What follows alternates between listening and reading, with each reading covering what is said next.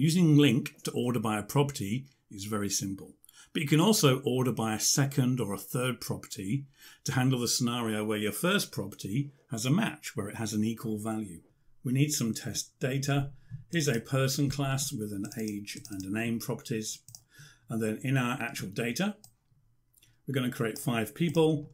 Notice that by default, we're going to have them in descending age 30, 28, 28, 28, 27. Our first query is going to be ordering by the age. If we save and then run that, we can see it's done as we expected. It's reversed the order to put it in age order. But what happens when the age is the same? By default, we've ended up with them in alphabetical order, Bob, Charlie, David. But what happens if we want these to be in descending order? Simple. Let's come in here and then after the order by, hit dot, and then we're going to use the then by option.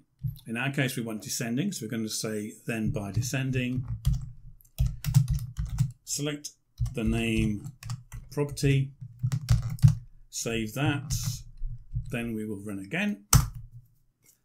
And sure enough, now when they're identical, it's gone in descending order. So we've got Bob at the bottom, Charlie, and David as expected.